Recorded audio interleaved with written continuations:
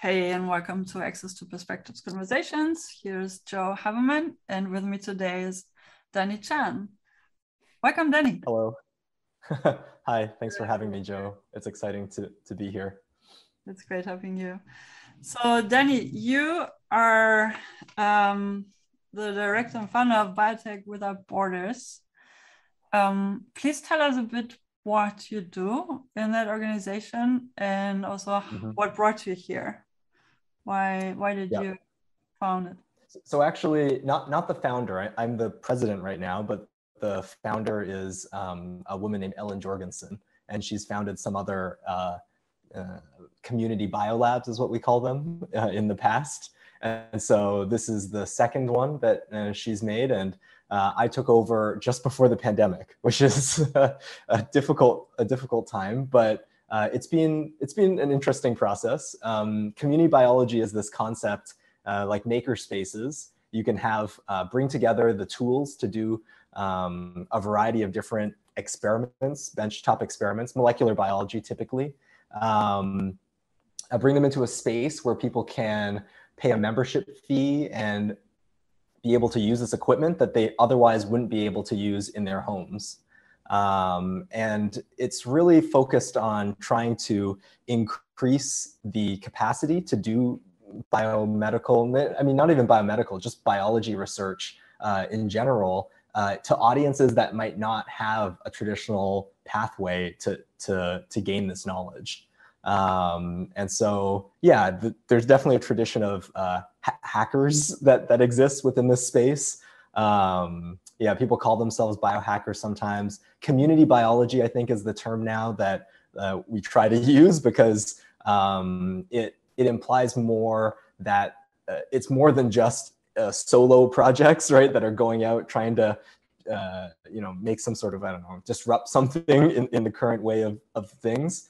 Uh, but rather um, some shared values perhaps are, are, are, what we're trying to cultivate with our organization. Um, and yeah, I mean, I've been very inspired by um, community gardens, uh, thinking about the lab as if you know we all share this this land. I mean, it's rented from an industrial building, so it's not it's not quite just like land out there on, on the planet Earth. Um, but but nevertheless, like we have to take care of it together and ensure this, the mutual safety of the people that work inside. But um, in in return, right, we're able to access uh, capabilities that uh, typically folks don't have um, if they aren't affiliated with an institutional organ, uh, sort of an industry or an academic institution. That's great.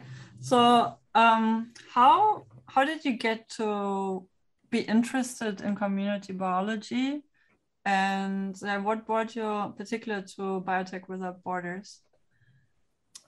Um, so what got me interested in community biology was probably um, a, a, Wired article some time ago. I, I, don't quite recall what it said, but it was it was about it was about uh, this type of space, this community biology lab. At the time, there weren't as many in the world. I was in graduate school uh, studying infectious disease at the time, and you know just reading internet articles like one does, uh, read that there were groups that were trying to do um, research outside of that institution. And it had occurred to me during my training to get to that point that a lot of the tools that I was using were very complex. Um, in fact, that's why I ended up going to school in the States. So I, am a Canadian citizen, and um, it, I did this co op work term in school where I got to work in different labs to try to get some experience. Maybe that would, I thought it would help me find a job in the future. Um, and when I came to the States during one of those co op work terms, my supervisor told me, Ooh, the equipment is really nice here. So if you're able to get into a graduate program in the States, you'll have access to all this very cool equipment. So always in my head, I had you know a mind to say, well, I want access to ask interesting questions using uh, interesting equipment, right? And I knew that there was a lot of infrastructure behind that. So reading this article in Wired saying that, you know, just community members were doing research, they, you know, bootstrapped something together, they found the connections that they needed to, I think it was a, maybe a sequencing run they did by taking, uh, taking a canoe out to sample some sediment from a city site and then sending it to some academic facility to be sequenced. But then the community sort of was able to ask questions with that data. I just thought that was amazing. and so that was always at the back of my head as I was going through my training as a, a, a, community that I wanted to make contact with sometime in the future. And so when I ended up dropping out of my PhD, I, I came to New York City to, to meet these people and see what was it that they were doing that, um, that enabled them to do a project like that uh, that wasn't supported by a traditional structure. Um, and so in that process, I found out that while I was always interested in teaching, I found out that this is also an audience to teach uh, science to in a very different capacity than you would teach inside of a university structure. Mm. Um, and it was it was also very gratifying to, to, to teach in that in that environment. Yeah. I I can well I'm imagine I've seen a few biotech um, community spaces also, and it's I feel it's more engaging by its nature also you get to explain about biotech experiments in different ways than you would with peers in mm-hmm. your discipline and or other biology absolutely. And it also gives us I a think... perspective right on on on biotech research overall. Yes yes. That that's a really good point and and that's what i was yeah thinking about. It's teaching biology outside of the context of the university, people are concerned. Well, I mean, people want to be entertained. So there's this element to, to teaching biology in this space that entertaining people is part of the job, in that um, people don't need to learn this skill in order to find a research position or, or so forth. Some people do come to these classes with that intention, sort of uh, extracurricular outside you know training. I think people are inspired by coding boot camps and that was actually that's an example of a very successful program that uh, like a, the community labs in, in New York City run. They say biohacker boot camp, right? So people come from various backgrounds. They want to just learn how to transform a plasmid into E. coli, uh, or maybe do a restriction digest, something of that nature. Um, so there is an interest for like retraining, but often it also comes from just the enthusiasm to touch these these these tools, these physical objects that actually are very divorced, I think, from everyday life. Um, but I mean, as I learned as I was working in labs as a research tech, like it's not that strange. It's kind of like baking or kind of like cooking, right? Um, and there's something that changes, I, I, believe, and I think there's some research. I, am not super uh, fluent in pedagogical research, but I believe there is an indication that um, like learning with your hands right in a in in a in a circumstance where there's maybe like an application that you're thinking about hmm. um, project-based learning right this type of engagement really does change the way that we then utilize that knowledge um, and so it's through those types of education programs that we fulfill one part of our mission which is to make this pre- make biotechnology more accessible um, and hearing people come from different walks of life into the classrooms, uh, you get very different types of questions. Uh, and as long as you're creating that sort of safe space that allows people to feel free to ask those questions, I think that there is a lot that as a teacher you learn about the way in which technologies are viewed, right, in, in the general society. Um, mm-hmm. like when you think about biotech, or, or I also then in part think about his hazards or potential hazards. Is there any experiments mm-hmm. where you say, "Oh, we can't do that; that would be too dangerous for for our participants"? Okay. Yeah, a- absolutely. That was so when the first round of community biology labs emerged. That was, I think, very. There's a lot of foresight being put into thought around um, making sure that these spaces are safe to, to do those types of things. So we run BSL1 style laboratories. And we ask that our members um, share with us their experimental plans. Uh, and then we also maintain like a list, white list of uh, reagents and things that we will allow inside of our organization and, and those that we won't. Mm. Um, in some ways, this is very challenging because inside of the institution, like you have all these departments, internal departments to do all this work. But outside, um, it has to be done you know well with our own with our own oversight bodies um, but there's a community out there Um, there's this uh, Global Community Bio Summit is one example. But before that, there was a DIY Bio, and some people uh, got that discussion going between all the different labs that exist in this manner. And that discussion and those email lists actually are, are an important place to, to reach out in terms of finding support um, for uh, instituting these types of safety protocols that are required to, to work there. Um, I think it's still you know there's there's always going to be a perception i think it's i'm glad you brought it up because it is important to speak about a perception of like doing the science that um, somehow we like we require a certain level of institution or bureaucracy to keep us safe like the public places their trust within universities mm. uh, as, as uh, in order to keep them safe from i don't know some unknown undefined danger um, but you know, I think it's important to remember that that is a type of trust and that even like well-established institutions can have um, difficulties like sort of executing on, on that type of thing. So uh, in our community, we try our best to forefront those values in terms of safety and thinking about the impact of one's work, not just to the safety of the individual, but the safety to the community at large.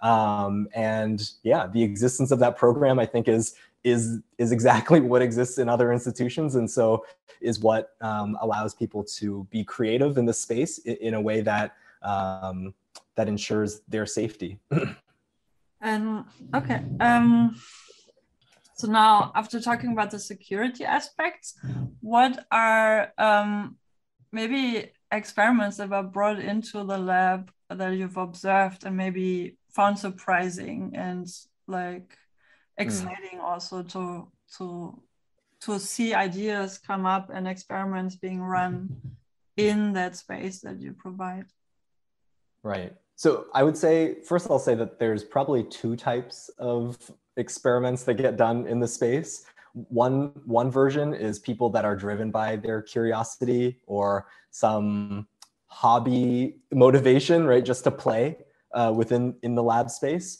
But then there's also another category of people where um, maybe they're trying to get some preliminary data for a grant application, uh, specifically those that feed into like private public partnership, or maybe they're a startup and they want some like preliminary data to show investors this style.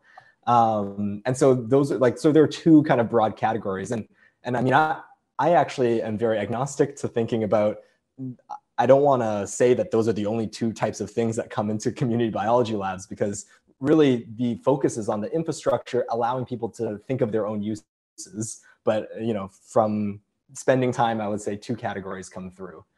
And so on the business side, you know, we've seen uh, there's a story that comes from uh, Biotech Without Borders, but really the organization that came before us uh, when the staffing was more aligned uh, the way that we do it was um, just the pipetting robots, trying to make low cost uh, robots to do pipetting. And um, yeah, that was just something I think that may have came from an iGEM team. So iGEM is um, a competition, I think that's run out of Boston, but you know, has international presence now. Um, they get high schoolers and undergraduates to put together some sort of scientific project and they take them through all this planning steps. So that was one of the early ways in which community biology labs provided a space right for for individuals to to launch a project such as that and from that usually created like a initial organization that became very fruitful. So I, I, don't quite remember the story the origin story if it was an igem team but it was some sort of there was something related to that where they were doing a lot of pipetting and then they realized oh this would be really great if we could automate it. And of course you're in a maker space so people want to make all sorts of things. And so like let's make a robot right that could do that. Um, and then it was some confluence of meeting the right people uh, and, and those who were involved that ended up being quite a successful company that spun off um, from the organization and so this model of like incubatorness so yeah it's talking a lot now i think about one category but but it, because i think it's an interesting point mm. that to go to a, a, business incubator now sometimes you know founders can be given money because they believe they invest in the founder you do something specific but you know, it does. There is a gatekeeping effect there that happens, and that it requires quite a bit of capital. Um, and my hope is that you know by opening a space like this and maintaining a space like this for some time within the city, um, there'll be other on ramps for people with not as much capital or who investors wouldn't typically think like are the right type of person to put money into. For those people to really prove to the world in some ways that they can get the data that at least the beginnings of the data that they need to to build that confidence and then move into that particular part of our world's ecosystem, right? The the sort of biotech startup space. Um, so okay, so that's one that's one element. Okay, the second element being people who come in purely on the curiosity level. Um, at, at that stage, I find it very fascinating to look at uh, like environmental monitoring. I think people become very, um, at least what I've experienced in the states, where people are very aware that um, you know that there are environment it, it, matters where you're looking for different contaminants. People want to know what's in their water, what's in their backyard. Um, and yeah, people do. Uh, there's a group right now who found some money through a, a company grant to sequence uh, soils and sediments from around the city and compost. Um, and they did that by partnering with some academics, but also partnering with city agencies somewhat. Uh, but it's all their initiative. They got the money to do the grants, and now they have all the sequencing data, and we're able to um, find volunteers to do analysis on that, and maybe start to articulate questions that um, people just don't think that you can ask. I think, like, uh, if if you walk down the street and you ask folks, like, you know, do you think that you could do uh, microbial monitoring, right, of a certain environment? I think most people would say no, but if you get five hours and some trained individuals around you, I think that answer changes to yes. Um, and so this type of project I think is quite interesting. Uh, what else have people been doing? So uh, sometimes there's some there uh, there's a lot of global collaborations that are going on. One that's close to my heart right now is that I'm trying to get interns to work on this low cost enzyme production so right, it's difficult to buy. Sorry. Are you talking about Reclone? Reclone, like the open bioeconomy. I'm not sure if Reclone yeah, is part of that. They're yeah, they're intertwined for sure. But which mm-hmm. one are you talking about? So, I mean, for us, we're talking. I'm t- I'm being trying to speak with uh, this organization, Friendzymes. They were an iGEM team, and then also the organization Open Bioeconomy, which mm-hmm. I think comes from Shuttleworth founded um, investigator Jenny Jenny Molloy, Molloy is one of yeah. the yeah. And so like both of those groups are trying to do this research and as a community lab we have infrastructure we also have need like we would like to make enzymes for ourselves and not have that be a constant expense right mm-hmm. and so um, yeah i'm quite excited actually for this summer we're we're going to have some interns in and we'll be trying to research on this on this level um, just creating some uh, fluorescent protein that we need to calibrate equipment, and then also creating polymerase that we use in some of the classes that we teach. Or maybe some members need polymerase and don't want to buy it, right? They can make it instead. Hmm. Um, so yeah, so that's that's what I'm pushing forward. I guess I'm also interested in doing things like making. You know, I was reading recently that um, Impossible Foods, they make heme inside of yeast, right? And there's some lawsuit I think going on because other copycat companies have emerged, right, to to also perhaps replicate that technology. But I, I'm sort of interested in just making it for the home scale, like not to sell, but like just to have like a yeast that tastes a bit bloody, right? Have that as a seasoning on my shelf, something like this. Um, so I kind of I enjoy that kombucha. People do a lot of like I, there's a lot of links to food i think sometimes um, not necessarily to consume it. So i think there's like work that has to be done to make sure that the things that we make in the lab are cons- like safe to consume. But just like for the curiosity's sake like to know what bacteria are growing your kombucha. And there's some dream it's actually from counterculture labs another community mm-hmm. lab in the us some mm-hmm. dream to make a like a family tree of all the kombuchas just by like meeting people and inviting them into the lab.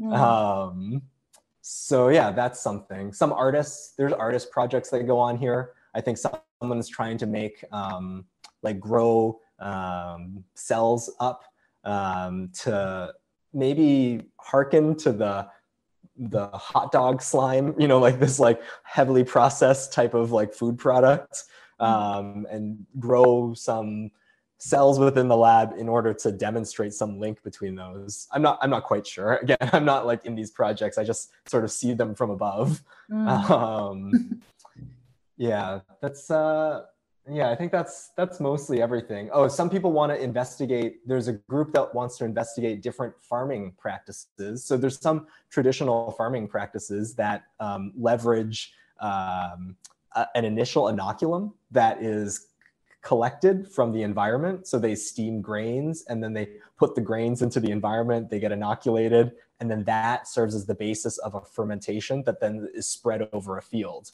and there's some interest in understanding that a bit better maybe mechanistically or just you know identifying some species and so there are some people that are coming to use that uh, um, and then and then some teachers we have some teachers that come and to, to play around with the kits that they're buying from companies right so that they don't do it the first time in front of the students and so that they they can like fit that better into their curriculum um, yeah so there's all sorts of interesting projects and again i don't want to like offer these up in, in any way to limit the type of thought that should be around it, right? At the end of the day, what we provide as an organization is this infrastructure, the lab infrastructure. Um, and you know, many other professions have this. Like, you know, you have the wood shops and things that you can use for rent. And if you're trained in carpentry, you can go and you can make a project. But I feel like the equivalent is lacking for biologists. Mm. Um, and you know, there's the reality that it takes a long time to get data. It's, it's difficult, or it's not like a very, it's not an easy task to, to go down that path. But um, to have that option open, I think is very important. And to cultivate a community that's willing to support each other in the pursuit of some of these difficult uh, difficult to acquire pieces of data, I think that that is actually quite valuable as well. Yeah. I think so too. There's, I would like to take you up on two or three lines of thought of what you just mentioned. Um, I'm yeah, absolutely. very much interested in global research equity. You mentioned the Open Bioeconomy um, Lab mm-hmm. And the work of Jenny Molloy and Mamboa and mm-hmm. um, Harry. Um, yeah. So, so yeah, what like and also in terms of purpose driven research i like what i hear from all the examples and i've i found that you provided quite a wide scope or a breadth of of topics that people bring into the community space um, mm-hmm. so would you say that the projects that that are being worked on are for the most part purpose driven and I'm asking this because um, when I give workshops on anything science communication related, and I ask the early career researchers, primarily PhD students of any career um, or, or year, um, why they do research. Some say out of mm-hmm. curiosity, which is, I think, also what you mentioned. Like some people come because they're curious, they want to explore, which is also the beauty with research um, and the idea of becoming a researcher. And the other, I think it's almost 50 50. The other half says, I have a purpose. I want to. I want to help build a, or help to solve and mitigate climate change. I want to mm-hmm. um, help to develop a vaccine for this and that virus. Um, I want to mm-hmm. save the world. I can definitely parts of it. Um, so do you feel um, I don't know, maybe the question was wrongly asked, but but purpose. No, no, I role. I, I hear I hear what you're saying. Um, I think the pur- purpose is definitely one of the major driving factors behind projects that enter this type of space. Um, and I think a big part of that reason, and, and also something that I want to encourage within within the public, is that um, science is just a tool, right? It's a tool for us to gain access to information. And so, um, if people have a purpose, I think that you know they should be able to use all the tools in their toolbox, uh, the toolbox of this world, right, in order to to achieve that. And I'd like to see more I, I, am trying to be very active as my role of facilitating this organization to just encourage people to to pick a purpose, right, and then begin uh, dissecting that scientifically, perhaps, right, thinking about what what knowledge they need to build, what skill, right, what skills might they need to to to address that purpose. Um, and of course businesses they sort of come with their own pur- purpose built in right? Entrepreneurial sorts like they have a uh, they have a market that they're seeking right? And that that they're going for. Um, but even then that purpose may shift. Like i think it's also purpose is a very human thing right that like it changes based on what we learn about the world and how we shift it and it, it can be liberating i hope for people that join our, our lab in order to follow their purpose to know that there's always support uh, in the way that you choose to change. Like we're not going to strip funding away because the purpose no longer aligns with funder goals or something like this. Like, um, yeah, we're seeking to create some common infrastructure to allow people with purpose to to explore and, and use.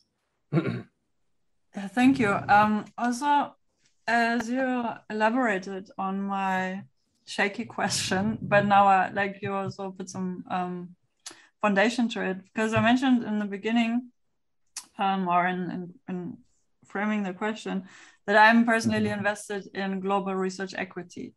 And right. I mean that literally globally, like where I also work with a, um, a stellar team um, for AfricArXiv, uh, an African open access portal, um, where mm-hmm. we work towards discoverability of African research output. So that's really the global scale. And at the same time, global research equity to me also means, and now I now have a better picture of that on the national level, like to mm-hmm. allow different stakeholders. No, that's that's the part where you come in.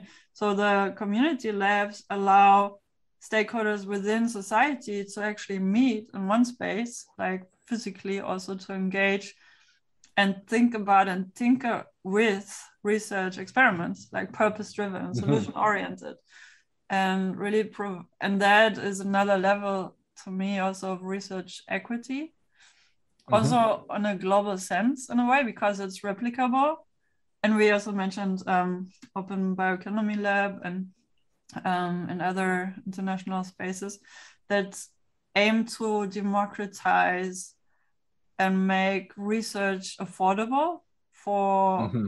researchers in any also also under resourced or underfunded um, research institutions, yeah. as well mm-hmm. as and here it comes um, other stakeholders of society. And I also want to go towards um, maybe two or three questions from now, or a conversation as the conversation unfolds. Also, the intersection between um, the academic sector, industry, and community labs in between and above, and as a fun fundament or fun fundamental in a way, mm-hmm. or as the glue between the two in a way, or where they can also evolve into. And I also want to mention that in the Human Rights Declaration, there's Article 27. So participation and engagement in research is actually human right. Ah, I love it. I love that. because the way you describe biotech without borders and the kind of work you do in the space you provide brings this to life in a beautiful way. Mm-hmm. So, anyway. Yeah. I mean, so I've been our our lab is uh so I do think very locally in this context, but of course, the challenge of, of, of, doing good work in society is to take those local contexts, right, but also draw those parallels to something global. Um, because with, like within the local context, I think there's a lot to learn in terms of uh, fitting into the community, figuring out how do we invite the community into this lab and and not just drop them this like pay your membership fees and and here use the equipment but rather what sort of programming might what, what could we do to illuminate right the types of research that could be done um, by by the communities again that live immediately around us and and may stand to benefit in some way Um, and to that end, like uh, I've been trying to partner and, and successfully so, like we're going to be partnering, I guess, with the, the local library system because I think librarians, I mean, I love librarians. I, I think that they have an eye towards access in a way that, um, yeah, in a way that really thinks about like servicing those in need. Uh, and so trying to partner with them in order to give classes to different demographics, uh, tap into those networks and, and provide our expertise. So like many of us who are members of Biotech Without Borders, we are trained within the academic system, and and we come. Uh, maybe we're taking different career paths. Some people now are industry. Some people are still teaching, adjunct professors, and so forth. Um, some are trying to work in nonprofit institutions like this. But you know, we we recognize that there's some power in the training that we acquired in that institution, and we'd like to apply it into the world in a way that is going to have impact. And so through our organization, through coming together in an organization like ours, we're also now realizing that um, we can we can support uh, community organizations by providing our skills as like teaching workshops and, and running things right in a vendor relationship with some of these organizations. And I think, think that that's like a really powerful thing just to say getting to know those with scientific training coming together with some shared purpose you can find ways to enrich your local community. And then hopefully that there's going to be something reciprocal there that then those community members will feel like that this lab is theirs as well. And we'll see how that direction shifts right? How the priorities and how the, the projects may change within the space um, with, with input from from more than just right? A bunch of different uh, academically trained individuals coming together with this shared purpose. Yeah. so I, I want to take you up on the name of your space, also Biotech Without Borders. Um, we mm-hmm. I think we've all heard of other Without Borders organizations, Doctor or Medicines Without Borders, um, Journalists Without Borders, mm-hmm. Engineers Without Borders, who all literally work um, well, globally or or especially in, in conflict regions right. on this planet. Um, mm-hmm. Do you see that you're also addressing this, or is this on your roadmap to? I mean, in, in part, yes. we already answered that. But is this also yeah. part of the mandate that Biotech Without Borders um, gives itself? So I think I think when the organization was initially founded, that that terminology "borders" was meant more about like you know borders between sectors of society mm-hmm. within right within like how uh, you know academia becomes walled off sometimes through jargon through right inaccessibility of those resources but um, i mean over the pandemic i've been thinking a lot about the name and how that relates to the type of work that we do um, and and I think connecting. So I, I, touched on this in my last uh, response, right? That that idea of connecting the local to the global is something that it takes it takes work, right? Like it takes work to maintain relationships, like like kind of globe globe straddling relationships, um, and, and, you know check in and, and, talk about the recent developments, the, the challenges that we're facing, right, in different global contexts, and and taking those lessons and then condensing them for our membership and for people that come from the local community to be able to conceptualize better what that global research enterprise looks like right? And and not just from the mouthpiece of some large corporation that tells you what global research is all about right? But like from from a network of individuals who who care about the world and who are trying to use science to, to make some impact. That that i see as the primary way in which we're hitting this without borders now so, so being a part of collaborations that are spanning multiple countries, right? Like that's that's at the forefront. Like if I'm gonna get interns to work on something as an organization, we'll be we'll be looking at research through that lens. Mm-hmm. Um, but even just chatting with people that are running projects in different countries and explaining those projects to the locals here, trying to make those connections, and then maybe connecting them by saying, you should join that other group, right? Like if this is resonating with you more than some, something that I'm saying, then like it's not it's not about me it's not about joining this organization but really you should just be like hitting those people up right and creating those networks mm. um, so yeah that that's the way that i've been thinking about without borders during this during this time yeah, it makes a lot of sense. And now coming to the intersection between academia, industry, and now community labs.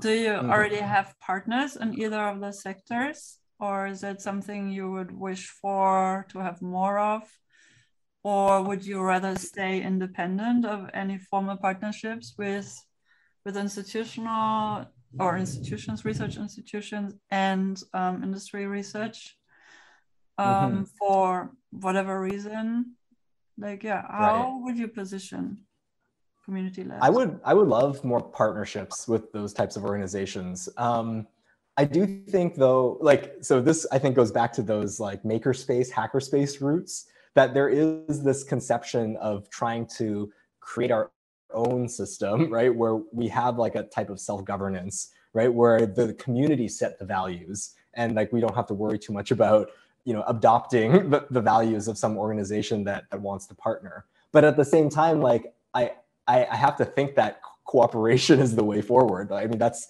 a fundamental belief of my my own and so uh, exploring what those partnerships might look like is something that i'm i'm willing to do uh, i mentioned the library system right as a natural partner for us um, academia has not being the same type of partner i would say like we partner with academics right like labs and so forth but the institution itself right like um, tapping into the administrative interface of mm-hmm. universities I, haven't, we haven't pursued that. I'm actually not aware of too many uh, or community labs that explore that interface. Uh, mostly just through individual principal investigators, right, will come. Mm-hmm. So I mentioned we have some adjunct professors that work with us. Um, I'm definitely interested in exploring collaborations with other tenure track professors or, or others, right, that have different positions within the academy. Librarians, as I mentioned, I actually think that there will be fruitful conversations to be had with academic librarians uh, mm-hmm. because like they within that larger uh, organization are fighting for a different type of yeah they're they have their own fights that they want right in terms of knowledge access and, and equity um, and then on the industry side that's that's that definitely um, has been an influence for us being in in in this neighborhood because um, the city is is fantastically obsessed with uh, bolstering the biotech industry, right, and becoming some competitor to attract companies and create jobs in this area. So in that way, I see a natural alignment because we want people to be happily employed, right? We want people to find success in, in their personal and professional lives. And so we've um, right now we have, don't have any formal partnership with companies, but we do have partners. We are like working with like uh, uh, they call themselves like a business partnership or like uh, employment employment services. This type of organization to try to expose you know job seekers to the possibilities, right? So um, just showing up at career fairs to talk about uh, the options that are out there, the many different career paths that exist. Um, that's one of the ways that we're interfacing. And I've actually been really interested in this idea that um, companies need to do a better job about explaining the impact of their technologies to the general public, mm. not just like the investor pitch, right? Like, okay, the investor pitch, like, I know they need to do that for their survival, but what about like the, the pitch that says, and here's how our technology is helping you, and then an open platform to ask questions, right? How, how does, you know, why do you think that this is going to help us, right? Like, how, like who exactly is that population? I think mm. that that would be a really interesting partnership that I'm I'm willing to engage in, um, but I haven't really had the time yet to to to make those connections. Hopefully, you know, in a year we'll see we'll see where these uh, this is developed. yeah, it sounds certainly um, worthwhile to to continue following up with as a line mm-hmm. of thought. um, we mentioned that you had busy spin-offs out of the tinkering in the space that then mm-hmm. um, joined a, a, startup accelerator program. Um, yep.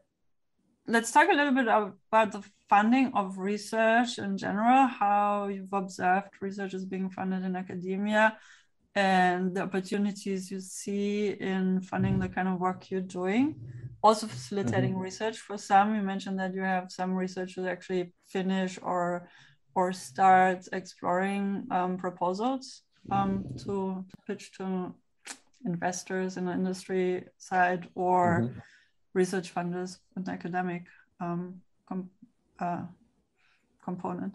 Yeah, like a uh, public-private partnership stuff. In the states, they call them SBIR grants, Um, that's oh, like specifically yeah. like you you you have to be outside of the academic system. You have to have a partner company, and then you provide some initial data to to apply for this type of grant in order to see if that could you know develop the business further, something like this. It looks like um, the community space is very much already like a seeding lab in a way, like mm. to yeah to provide the environment to actually plant a seed for a project that then can grow mm-hmm. into a startup, which then eventually can grow into a company. Um, yeah. But also on the research side, yeah, to develop research ideas and and start testing, and then getting mm-hmm. funding for it, and off you go for a three or five year research project. Yeah. So how? Yeah, absolutely. what's the what's the financial backup for that in society? like. Yeah, I mean, I, I guess the unfortunate part about this reality is that members fund out of their own pockets in all of these cases, right? Mm-hmm. So, um, like at least for this initial step, right? Like it's um, the the service that or the the benefit that we offer as maintaining this lab as infrastructure, right? Uh, at the end of the day, like people, we have to contribute together to keep the space open. Um, and as well, like people have to buy their own reagents and so forth in order to to do that experimental work. Um, I've been inter- one of the my dreams of so like we're working as a collective right now at Biotech Without Borders. And so like one of the directions that I'm trying to push us towards is uh, becoming like a fiscal sponsor for small projects. Uh, it's actually quite common in the arts, right, to have um, organizations provide like fiscal sponsoring for an artist to run a project. So that provides them like a financial container to store money, right? We have this tax-free status. Um, and so I, am interested in expanding that for you know small invest like an investigator, right? Whether that be at the beginning of a business, whether that be curiosity driven, whether that be right uh, to to cr- create initial grant data. Um, yeah, like trying to build out that part of the administrative services that we offer as an organization. So like so there's an administ- there's an infrastructure layer that we're trying to offer and then there's also an administrative layer that we offer and both are geared towards um, as, as we've said before, democratizing biotechnology, uh, increasing access to this, uh, and then and then yeah, bringing people together to also chat because the, the, chatting and the, the, communicating of your project is so important as well. This is something that I love when I was in academia, right? Like to be in a lab, everyone has their projects. You have a lab meeting, you're chatting, like you go to conferences, like. Uh, but but to open that up for even more people to join right and and show people that that's like a place that uh, you can really develop your ideas and, and really find you know lifelong colleagues in some in some instances right? When you find the right person that clicks with the way that you think that can be really valuable. So so anyways uh, yeah trying to be a fiscal host uh, is is the the thing that we're thinking about in terms of funding. Um, but yeah we're, we're a low resource lab. Like i mentioned before like wanting to work on Friendzymes and the open bioeconomy that comes from a place of solidarity. Like, uh, we're not funded. It, our funding structure isn't like a you know generous grant or, or a large institution backing us. We're funded by our members. And for the members that do become successful and spin off companies, like they are able to contribute more than the members that don't. But uh, you know, that's that's where we're going. That's what we're going for here is a very grassroots funded organization, and we invite others, right, to benefit from what we're bringing together to to fundraise themselves, right, at the grassroots level to try to get their projects off the ground. Yeah, and, and I've you're also not alone with this approach because the commons, or it's commonly known as the commons, is a is quite a common approach for these days. Like also Wikipedia uh-huh. has grown into a massive online resource or the biggest online mm-hmm. ever with the same approach. So it's not so utopian or visionary anymore to mm-hmm. as much as it's a stretch for resources. Um, like w- the other question would be if we would see it more negatively, like why why is it still so difficult to why why do, do we have to struggle to build community so much where the value is so obvious um mm-hmm. but maybe i think there aren't of um, no I, I think there there is a bit of a struggle and because because one of the the first things that we thought about was looking for grant opportunities in order to fund the organization but grants often fund programs right so like they want to see like the impact on like how many people are going through the program right and, and so forth it's hard sometimes to find infrastructure grants right? Like infrastructure grants are given to large institutions, but infrastructure grants for small institutions, right? I mean, that's where I envision us. We're like a tiny institution. that that that doesn't. I, I, think there's a little gap in funding there. But again, you know, this this might also be my ignorance in some ways. Like I'm still I'm still working to get our capabilities up and, and attract more members. I haven't focused a lot on looking for those particular grants, but I would say that that's something that you know if there's grantors listening right like like thinking about small scale infrastructure grants like seems like a really useful useful thing yeah i think it's also i also with the initiatives that i coordinate and work with other um, colleagues to pull off i find the idea of having to ask for money for something that's so obviously valuable like why can't we turn the wheel and rather showcase what we do and have investors pitch to invest in us and when we select? Yeah yeah. I don't i don't what's your purpose? Like where's this money coming from? Like okay literally have an ease to cherry pick the best fit mm-hmm. for the kind of work we do yeah, that sounds wonderful. When you when you find out the organization that does that work, like connect connect me, please. um, okay. Well, I think again, like I think this triangle between academia, industry, community labs is a perfect, um, perfect model for engagement. Mm-hmm. And earlier, I, had, I just had a vision of um, any research or biotech research lab using the community space, um, and in particular yours, Biotech Without Borders, mm-hmm. um, to instead of an open door day at the university, but to come and showcase the kind of research they're currently working on, um, design yeah. a small scale experiment thereof, and then you know use that as science communication as part of their degree. Like they have to do that, and it's also fun mm-hmm. and engaging and and rewarding to do it. absolutely absolutely yeah as i said like when i first taught classes within this space right to, to the general public showing the general public a restriction digest right and, and how like this is a, a ruler for dna the the questions and the engagement like it's it's a mutually beneficial relationship right? To be able to impart that knowledge in a way that you don't normally speak about it. And then and then yeah and then take those thoughts and understandings back with you to the lab and just have that richer view of of of the work of science within within society contextualize a little bit better. I think that there's a lot of a lot to be gained by um, by mm. flipping through these different types of institutions and, and trying out your skills within each of them, right? And seeing what impact it has.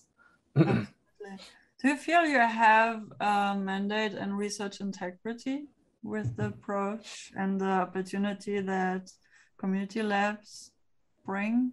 Mm-hmm. Yeah, it's interesting. Um, I don't think I've thought too explicitly about that particular topic, but I will say this that one of the issues within research integrity integrity is about incentive structures right? Like something that drives right sometimes fraudulent work is the pressure right to remain within the system and to you know have a stable career. We don't work from that space at all right? The, the pressure here is there's no pressure. It's voluntary right? Members come if they can if they have the finances to be able to interface with us or even we offer free events as well they can come out and just be part of the community then then you can join this enterprise. Um, and so i would hope that the the incentives for right uh, fraudulent research uh, don't like aren't generated by our institution but of course they exist external right? Like there's going to be folks that maybe want to do research in this lab and will falsify their results and send them out to those granting organizations. Um, yeah, we, we, we don't explicitly control for that, but I would say I don't think academia is controlling for that either. There's no like police at that level.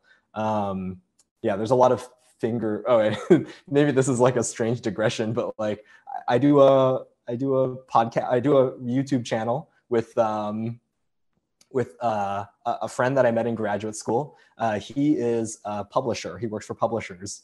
And uh, the reason why we do this together, we do a journal club. We talk about cool microbiology news every week. Um, the, the reason why we do this is because the best defense against uh, bad research is reading the research and uh, it's a difficult task it requires i think community is like a big part of it um, but like looking at those results and bringing your critical eye to them the more people that do that the more people that uh, comment and, and right on the status of, of different experiments i think that makes the research more robust um, so yeah, the research integrity I think is a very systemic and complicated problem. Um, I, I, yeah, it, in so much as I don't think we contribute to that issue, but I, I haven't thought yet of how we might actually tackle it, it head on. Yeah. I think you did answer that when you said that the pressure is not there to stay in the systems by providing the mm-hmm. metrics. So naturally, what I understand as research integrity is like to be aware of the purpose, why we do what we do, and how do mm. we how do we accumulate the knowledge, and how how do we make sure there's accessibility to that accumulation of knowledge. And only right, then right. research makes sense. And that's basically the essence of community spaces to provide a space for learning, for exchange, for community, for so it's basically mm-hmm. I mean it's almost a better academic system. um, as much as most academics wish for research to be working that way. And mm-hmm. with open science, I think we are working towards that pretty actively already. So mm-hmm. yeah what, what does open science mean to you? Do you feel that with the work of biotech without borders you now have the opportunity to practice open science the way you always wanted to? Oh uh, 100% yeah that's um, a yes. yeah yeah. And again I, I guess that goes right back to like what you picked out of my response saying that like the pressure to perform doesn't exist in, in this space in the same way. So like the challenges are different right? The challenges are like that resource like sort of the low resource environments is the challenge here right? And and sort of being able to engage community members to assist whether through their own efforts like at labor at the bench let's say or by donating that i think is the the sort of the major a challenge to overcome within this space. But in terms of doing research the way that I think is the most like that has the highest integrity to my standards like i don't have any barriers to that right in this place. Like i can yeah. And and so what i've also um, been interested in and i think i probably will is like i've always loved certain open research. Like during graduate school you know i was trying to choose the tool chain that i was going to use right to churn out papers day in and day out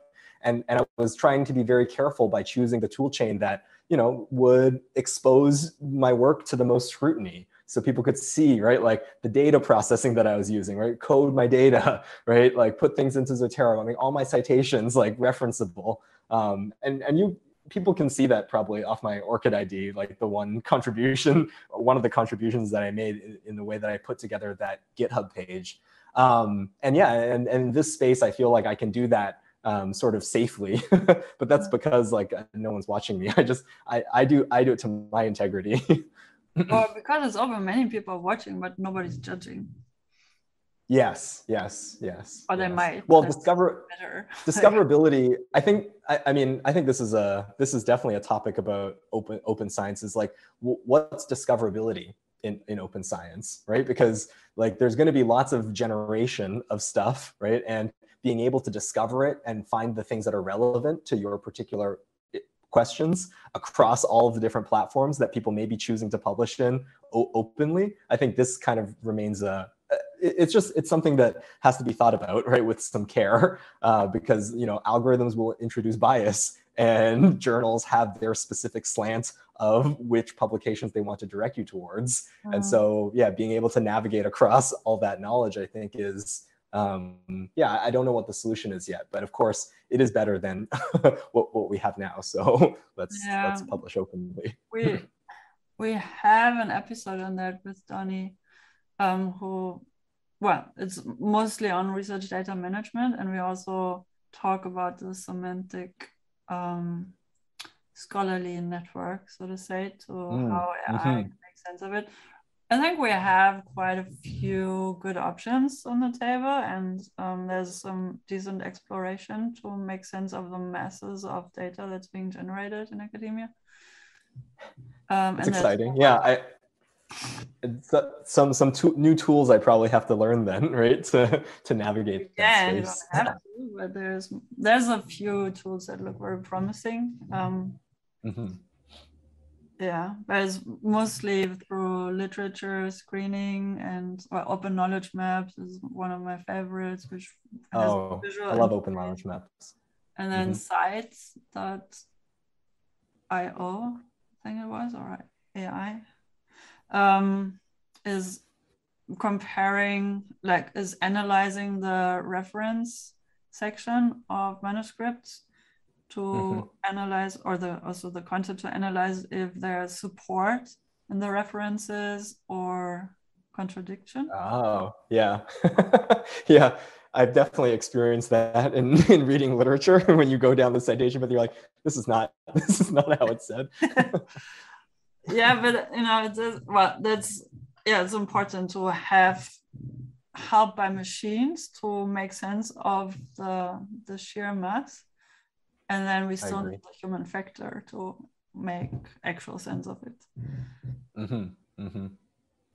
and then yeah and then the the metadata like the way the contextualization of the research output that's that's that's one of my favorite topics and it's also heavily underserved unfortunately so what's the use mm-hmm. of research data being generated articles being published if for once the articles never see the light of day or are not mm-hmm. accessible mm-hmm. or the the research is presented in a way that's not reproducible or is not contextualized so we can't learn anything from it other than for that very specific purpose it was designed for right. yeah so i think purpose needs a better standing in research altogether and this is again why i think community labs are so important because society and the members of society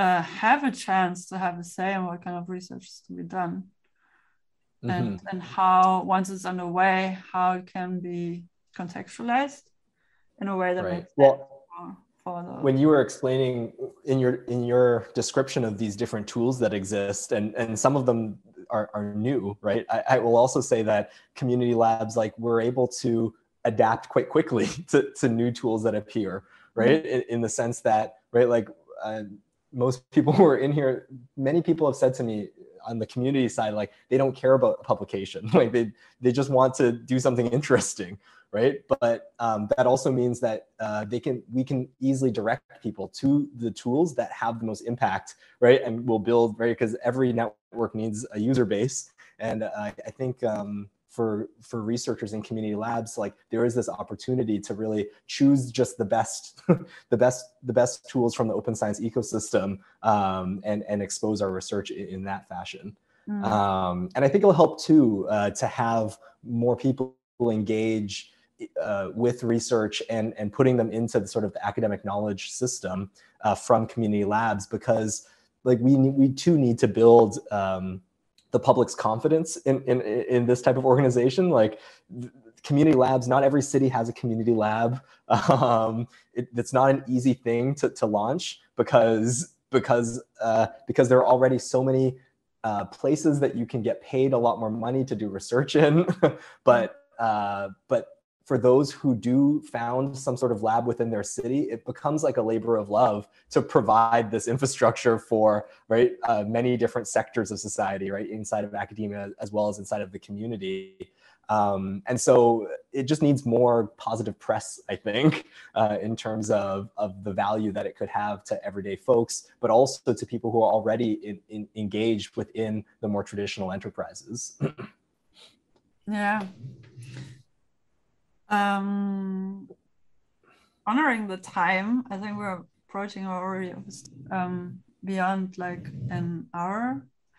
And um, so, is there anything else? What you just said sounds like the perfect epilogue to this episode. yeah, I, I, think so. Uh, it was.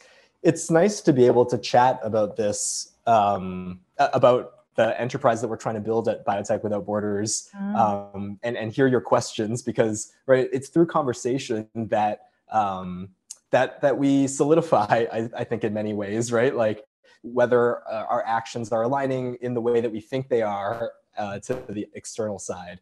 And uh, I'm very community minded in that I want our organization to grow through membership and through these types of conversations to be able to uh, chart a path for our organization that will lead us to some sustainability. So we're not there yet. That's like number one goal is being self-sustaining here in, in New York City. Um, and I believe it can be done uh, because there's real value to be had in working in these spaces. I think we've talked about that a bunch of times throughout this podcast. Um, and and there's also joy to be had uh, working in community, right, with people who have similar values. And uh, so, yeah, I, I just I'm, I'm happy that you've given us this opportunity to speak about Biotech Without Borders, and and I hope, um, yeah, we get some, um, we get people who are interested. I'm, I'm sure there are many of the listeners um, who are very much interested in the kind of work you do. I also want to point out another episode that we had um, previously on open no open hardware makers program, which is mm. also not not exclusively or, or explicitly um, open to non-academics as well to build hardware. And probably also a community to keep an eye on because what um, the the participants of these programs and they just launched um, the first cohort um, will produce uh, some of which will probably also be applicable in community spaces like the oh yeah absolutely I mean, op- open hardware and, and GOSH, right? Like their work has has significantly lowered the barrier to access, right, in terms of tools that we could furnish our lab with. And mm. so, yeah, I'm definitely an important part. I'm, I'm glad that you made this connection. many intersections, many opportunities for partnerships, nonprofit, for-profit, mm-hmm. industry, academia, not um, non-governmental. Um, yeah, I'm glad that that you do this kind of work. That community spaces exist as part of the ecosystem. It is a human right for any human being on this very planet to engage in research, and you're providing that space. So thanks for that. And excellent. Yeah, and speak to you soon again. Welcome back to all right for another episode whenever you want to. Really, the door the door is open. Sounds good. Thank you, Jo. it was great to be here.